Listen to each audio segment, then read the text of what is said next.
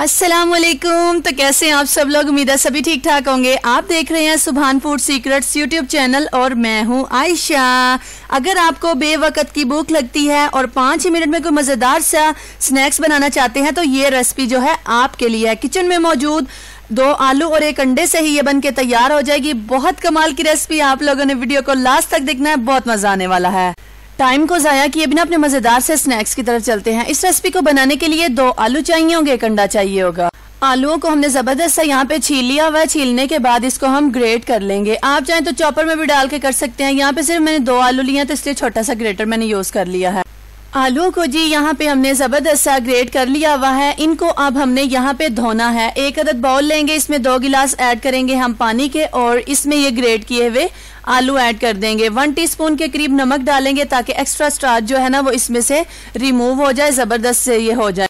तकरीबन हम पाँच मिनट के लिए यहाँ पे भिगोया रखेंगे, साथ ही हम इसको ड्रेन कर लेंगे। अच्छे से इनका जो पानी है ना, वो हमने खुश कर लेना। ले जी, आलू हमने ड्रेन कर लिए हैं। सबसे पहले तीन चम्मच हमारे पास हैं ये बारीक चॉप किए हुए प्याज हैं। थ्री टेबल स्पून हमारे पास कॉर्नफ्लोर है, एक अदा डंडा है। अच्छे तरीके से यहाँ पे जी हमने इन चीज़ों को कर लेना होगा। मिक्स इसमें कोई ज़्यादा स्पाइसेस नहीं जाएँगे। मतलब ये मेरे कहने का कि आपके बच्चे भी इसे खुश होकर बड़ा खाएँगे। हाफ़ टी स्पून के करीब यहाँ पे हम इसमें ऐड करेंगे। ये काली मिर्च का पाउडर है और हाफ़ टी स्पून ही हम इसमें ऐड करेंगे। नमक है अच्छे से मिक्स कर दे, कर देंगे। दूसरी तरफ़ जी हम रखेंगे गैस पे एक अदद पैन इसमें ऐड करेंगे। तकरीबन three two four tablespoon हमारे पास ये ऑयल है। ऑयल को अच्छे से गर्म कर देंगे फिला देंगे।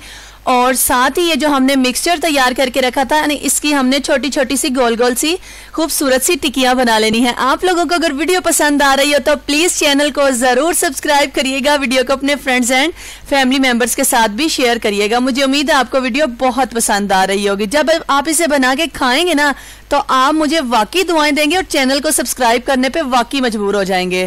दो से तीन मिनट जिसे मीडियम फ्लेम पे रखते हुए इसको हम बिल्कुल भी नहीं छेड़ेंगे, साथ ही हम इसकी जो है ना साइड को चेंज करते जाएँगे, ताकि हर साइड से खूबसूरत सा गोल्डन कलर आ जाए और आलू जो है अंदर तक कुक हो जाए। वैसे तो ये ग्रेड किए हुए हैं, ये कच्चे बिल्कुल भी नहीं रहेंगे। साथ ही जी हम इसके ऊपर ऐड करेंगे, यहाँ पे हमने ग्रेड की हुई मोजरेला चीज़ है और टमाटर के कुछ स्लाइसिस हैं।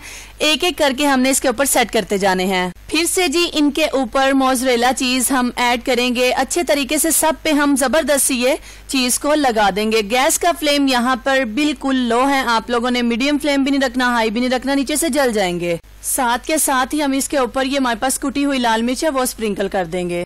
ब्लैक ऑलिव्स डालेंगे सबके ऊपर और इसे हम बिल्कुल लो फ्लेम पे तीन मिनट के लिए कवर कर देंगे ताकि चीज़ हमारी ज़बरदस्ती मेल्ट हो जाए। तो जी, अल्हम्दुलिल्लाह, बहुत कम टाइम में, बहुत ज़बरदस्त, बहुत ही खुशबूदार स्नैक जो है बन के हो चुका हुआ है, तैयार। शाम की चाय में बहुत ज़बरदस्त सा लगने वाला है।